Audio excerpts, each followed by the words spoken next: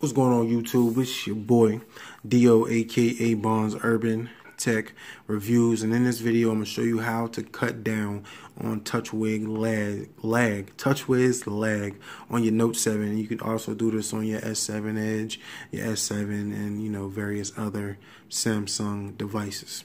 First thing you want to do is cut down your bloatware. You want to get rid of all your bloatware, so all of your Samsung apps that you don't use, all your carrier apps, your Verizon, your Sprint, AT&T, T-Mobile, whatever apps that they pre-installed that you don't use, get rid of them. Disable them. Get rid of them, especially Flipboard. I don't use Flipboard, so you know what I mean. I disable Flipboard out the box. You know, straight out the box, I get rid of it. Now, uh, previously did a video about how to disable bloatware you know because you can't really delete it. You just gotta disable it. I did that video. I'll put the link up here one of the little cards. You can click that and uh, it'll show you how to do it. So in this video I'm just gonna get into uh, one quick thing that you can do. Now this is what I have done. Go to my apps and you want to download an app and it's called Hold on for a second. Let me make sure I find it. It's called Package Disabler. So you want to download that. So go to your Google Play Store, download that app. Then when you download that app, open it up. And then it, says, please enable device administration to use Package Disabler. This is the first time I've used it on my Note 7. I have it on my S7 Edge. I have not did it yet, you know, on this phone. So I'm about to do it right now. So enable the administration administrator to you know make changes on the phone. So then you know it tells you you know what you have to do and the premium and all that stuff, and just go down to activate.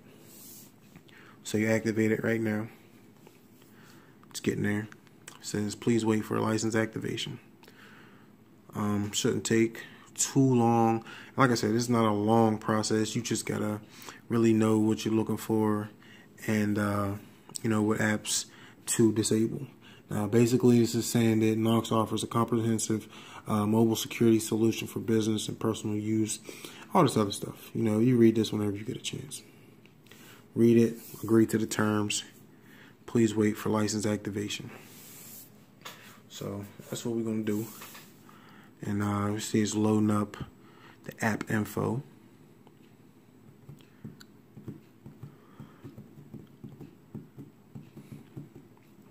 Good, we in there. So when you get in there, uh, certain apps you just want to uh, get rid of or disable. Um, if you don't use that alarm clock, you know, you can disable it. It's up to you, like I said. But certain apps that you disable could stop make other programs and stuff in your phone stop working. So that's why you just can't go and disable everything. You gotta, you know, know what you're disabling so, you know I mean? It's not going to mess up anything else on your phone. Like I said, Amazon Kindle, get rid of that. Don't use that. You see it says it's disabled. disabled. Um, what else? What else? What else? Apps Edge, use that. Um, like I said, it's, it's just small apps and stuff that just keeps running in your background you know, stuff that you never really even notice or know, and it just be running in your backboard, flip, uh, your background, flipboard, uh, you know, disable that, package disabled, that's what you want to do. Um, see what else we find. And like I said, be careful what you disable because it, it might cause another program to not uh, function properly. So you definitely want to make sure. I don't know what any of that means, so I don't touch none of that type of stuff. You know what I mean? As far as disabling, and usually, I mean, if you disable something on accident, you know, or you trying it out to see what happens, and it, you know, messes up more than you, what you really want to, you can just go back and unclick it. So it's not, you know, I mean, nothing big. It's not like it's going, you know, lock your phone up or something. Not that I know of. Now, you know, do this at your own risk, of course. Um, so you got like everything in here, like all this stuff, favorite contacts, uh, FedEx, File Manager, Finder, um, Foursquare, like everything is in here. You know, uh, I'm really not a gamer, but I don't like cutting them off. If you're not gonna use your VR, you know what I mean, or not ever planning on purchasing the VR, cut that off. Cut that off. Now I got a VR, so and the kids use it, so I'm not gonna cut that off right now. Um, I actually cut off Google Play one time, man, and it like I couldn't do nothing. I couldn't play no games or nothing. So definitely watch if you cut off Google Plays. I did Hangouts too, but now that I live stream and stuff like that, I put Google. Uh, I put Hangouts back. Um, like I said, it's really just apps that you don't use, like the internet. Now, see, I, I don't use this internet. I use uh, Chrome, Google Chrome, but I'm not sure if I disable this will it mess up, you know, my me getting on the internet? So I'm not gonna do that right now. I might try it out later to see what that actually does and what it will actually disable. I still got apps in here that I don't really use too much that I gotta get rid of. Um, they transferred over. See, NFL Mobile, I don't use NFL Mobile, so I get rid of NFL Mobile. I, I, got ESPN, so I get all my notifications, all my, my info and game stuff off of ESPN. So no need for NFL Mobile. Pinup, I never really use it, but I just don't know what it does. So I'm not going to disable it right now. Might be something I come back and do later. I never use that Google Photos. I should disable that. I'm not going to do it right now. Uh, see what else we get.